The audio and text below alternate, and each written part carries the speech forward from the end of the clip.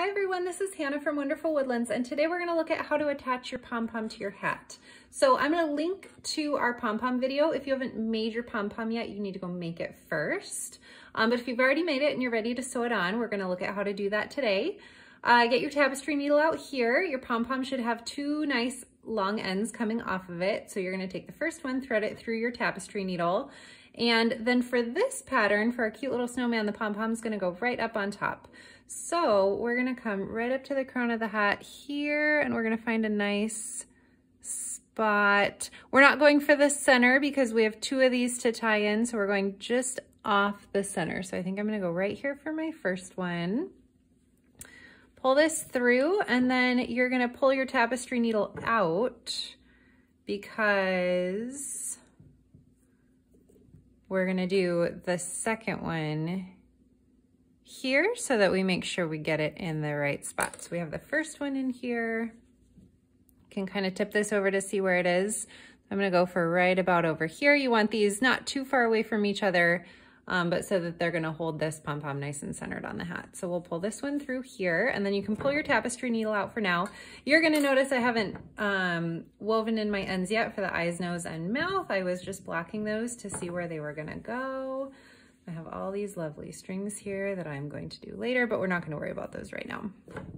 So for this one up top here, we're gonna take these two, we're gonna tie them into a knot.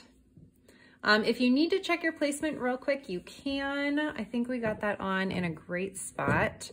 We did, it's right up on top, it's perfect. So we'll come back here.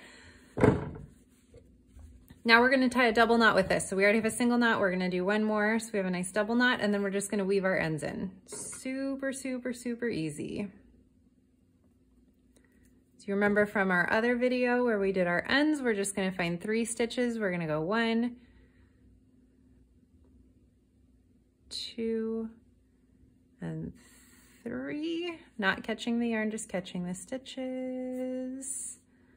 And then we're gonna go back up. We'll go one, two, and three. And then we'll go down again. One, two, three.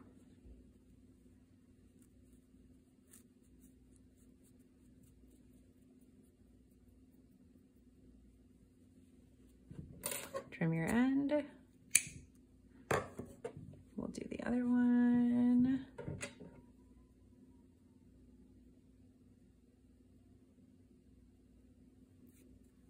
And we'll go one, two, three,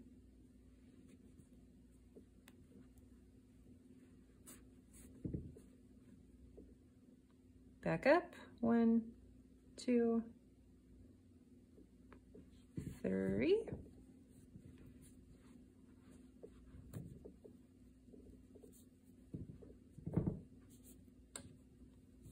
And last one. Make sure, like we did on the weaving our ends in video, we go.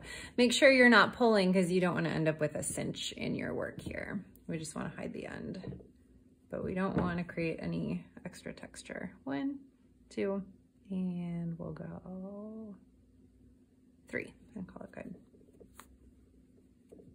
And then we'll loosen this up so it's nice and woven in, but it's not pulling tight. That looks pretty good. I'll call that good here. I'm gonna do those ends a little bit later. And now we have a darling little pom-pom on top of our hat.